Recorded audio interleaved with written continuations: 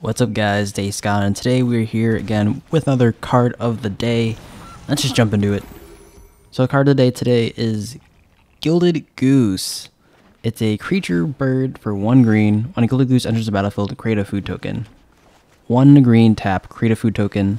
Also, tap, sacrifice a food. Add one mana of any color, 0-2. So this is essentially a standard playable Birds of Paradise. I'm not sure if they ever print a Birds of Paradise again in standard. It's a one mana mana dork that taps for like any color, right? But it's also zero one. Is this better? I think it honestly might be comparable, right? I mean, sure it's a one time shot, but like it's also a mana sink that also like helps you against aggro. But like Birds of Paradise isn't helping you against aggro. You're playing greens, like you probably have like a lot of efficient mana dorks. I like this card a lot.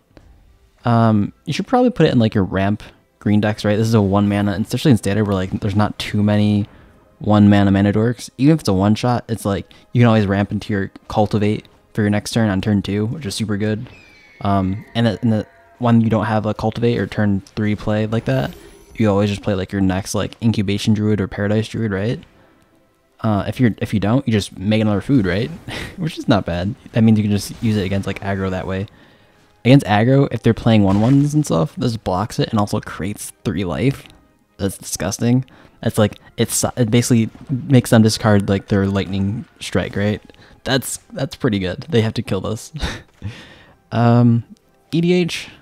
I'm not sure if it's EDH playable, just because of how faster uh, EDH is. You tend to want your mana all the time, and creating food usually isn't thing because people usually win with combos.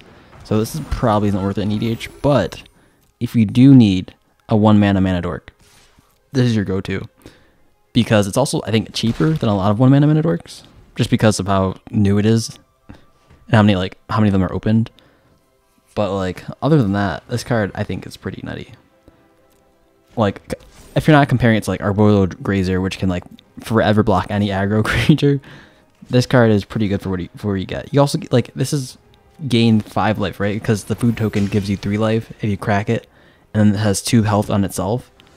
That's kind of good, right? Against aggro for one mana, that's that's pretty good, right? And that's even to say like that helps you ramp, ramp into your big boys. So like you're beating aggro against it, against uh, you're beating aggro with this. it's pretty good. Um, but yeah, that's all I really have to say about it. I don't really know if there's too many other applications for this.